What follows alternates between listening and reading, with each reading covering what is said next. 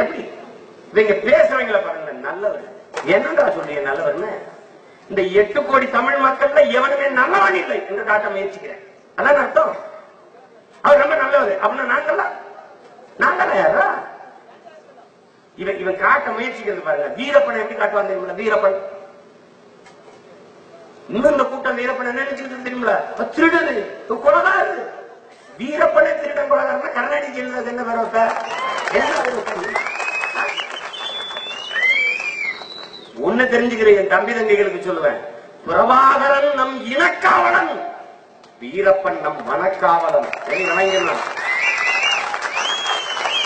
ஒண்ணும் கிடையாது. வீரப்பன் மட்டும் இன்னைக்கு இருந்தா மேகதாதுல அணை கட்டுவேன்னு கர்நாடகன் சொல்லுவாங்களா? இதான் கேள்வி. காவிரி மேலாண்மை வரையும் அமைக்க முடியாதுன்னு சொல்லுமா?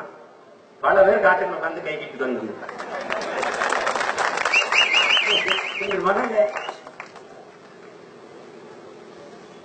ஆறாயிரம் சதுர கிலோமீட்டர்ல